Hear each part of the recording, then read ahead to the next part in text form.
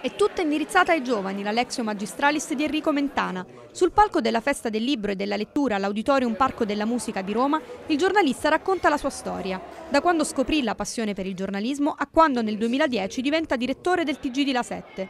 Lì Mentana ha cambiato il giornalismo televisivo, dopo averlo compreso, come dice lui, per confutazione, per ironia. Un telegiornale fatto solo di hard news, come si dice nei termini tecnici, tutte le notizie che è importante che un cittadino italiano responsabile debba sapere alle 8 di sera. È stata una formula di successo, perché, di questo, perché era un tipo di prodotto di cui si chiedeva la presenza sul mercato dell'informazione televisiva e che in quel momento non c'era. E soprattutto ai giovani che vogliono diventare giornalisti, Mentana dice non accontentatevi, non andate con la ciotola in mano. Il giornalismo è una passione, ma non basta.